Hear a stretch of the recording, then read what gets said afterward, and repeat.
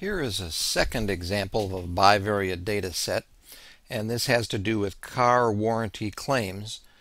Some cars have a three-year, 36,000 mile warranty, and it's whichever of those two occurs first, that is three years pass or 36,000 miles on the car.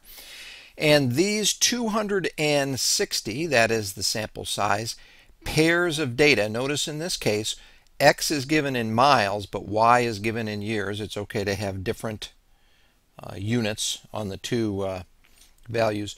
So these, these, each dot represents a warranty claim.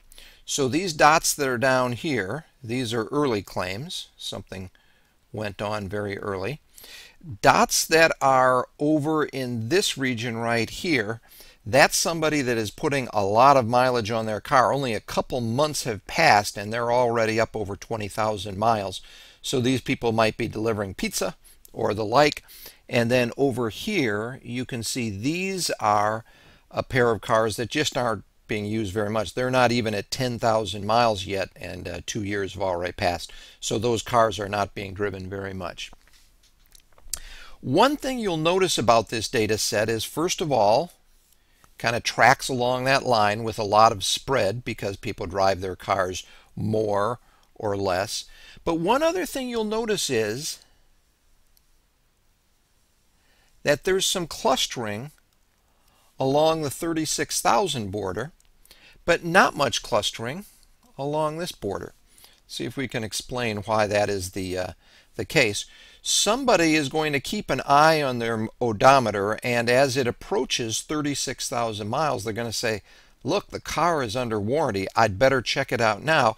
Whereas people don't tend to remember that three years are up because when you bump into either this wall or that wall the more the warranty is over now let's flip to the next slide here and see if there's another way of looking at that there is something known as the marginal distribution of the two variables. If we just look at mileage alone and draw a histogram of the mileage when the warranty claim occurred, and then just look at the time in years, you'll notice you get this spike out here at the end. And what that spike tells you is that drivers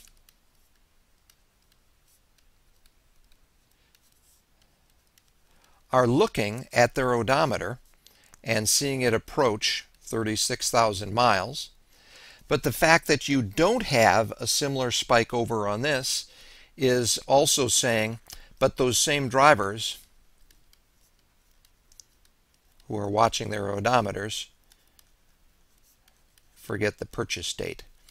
So that's a uh, bivariate data set where you can see a little bit of uh, uh, intuition between when those warranty claims occur by looking at the bivariate data pairs.